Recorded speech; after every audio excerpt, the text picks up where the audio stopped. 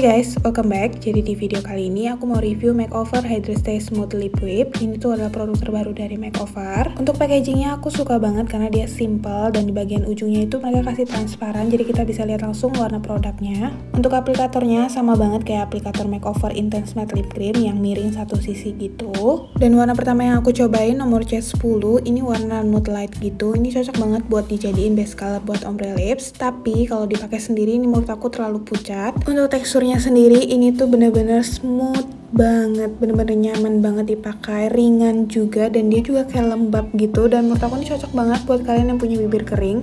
Karena kalau pakai lip cream ini tuh nggak bikin bibir kalian tambah kering karena dia lembab banget guys di bibir.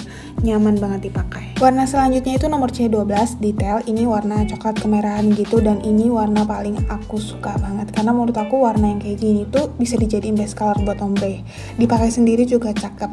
Atau kayak mau ombre lagi buat bikin lebih deep lagi tuh juga cakep banget finish dari lip cream ini tuh soft matte atau satin jadi dapat dipastikan dengan finish yang satin itu tuh lip creamnya pasti transfer guys. Dan sekarang aku mau ombre shade C10 dengan C12 menurut aku hasilnya tuh cakep banget kayak natural gitu. Dan untuk harganya sendiri kemarin aku beli pas lagi ada promo di Shopee Mall itu 89.000 dan harga normalnya itu sekitar 105.000 dan menurut aku dengan harga segitu produk ini tuh masih worth it banget. Karena emang lembut banget guys dipakai di bibir tuh nyaman ringan nggak berasa tebel nggak berasa berat dan nggak bikin bibir kita juga jadi tambah kering kayak gitu.